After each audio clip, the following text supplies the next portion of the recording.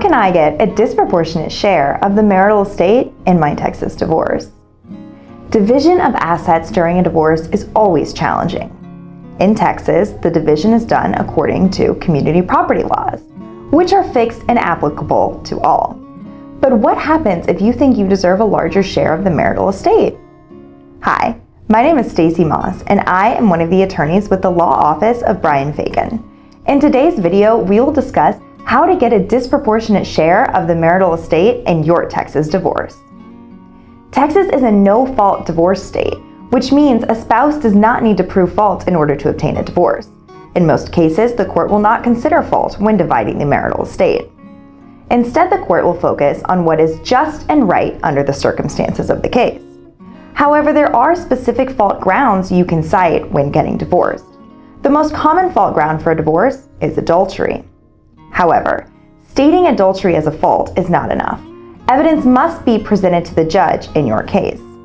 For example, if you suspected your spouse committed adultery but decided to suggest marriage counseling to attempt to reconcile. However, reconciliation was soon thrown out the window because you obtained evidence of adultery and decided to file for divorce. You might decide to request a disproportionate share of the marital estate. Was it necessary to present evidence of an affair when filing for divorce, or only before the final judgment? If proof was necessary when filing, you might not receive the share you'd hoped for. However, the judge could rule in your favor, stating the proof presented before the trial was sufficient.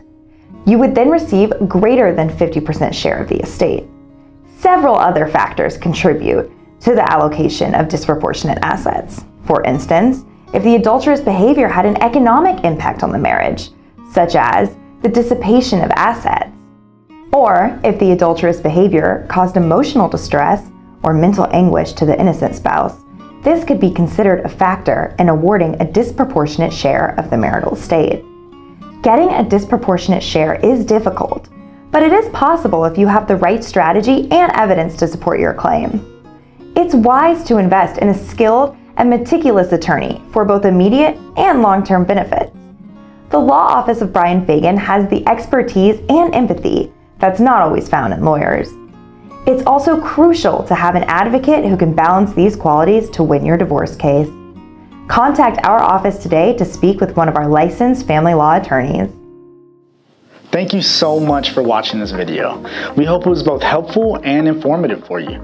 At the Law Office of Bryan Fagan, we are here for you, so please let us know how we can help you with your family law, estate planning, or criminal defense matters by calling our office today at 281 310 5563 to schedule your complimentary consultation.